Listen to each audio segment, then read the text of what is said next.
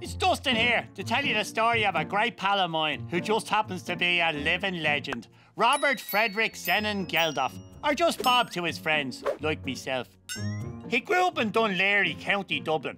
As a young fella, Bob was a bit wild, lots of messing and acting a maggot, and all the other kids would follow his lead. Take that frapping cone off your head and put it back on the road where it belongs.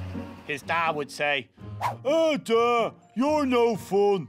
The cheeky Bob replied, Why are you so scared? asked Shane. Oh, I don't know, Shane.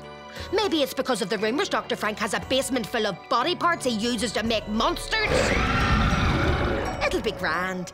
She peeked in through its carved out eyes and had a monstrously good idea. This is the perfect place to stash my swag. Don was the most popular kid in fifth class.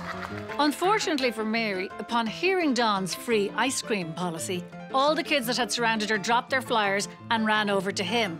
Disaster. How could Mary compete with the free ice cream campaign? It's your horse, love! She shouted back into the kitchen. Are you off to Torbet the villagers for Halloween tonight while looking for that head of his? Right. Have a good day, dear. And don't forget your swords, your daggers, and your cloak of skulls. And I didn't make you pack lunch for obvious reasons. The headless horseman mounted his horse and off they headed to the village. As both me, Rory O'Neill from Ballinrobe, and me as the super fabulous Panti Bliss.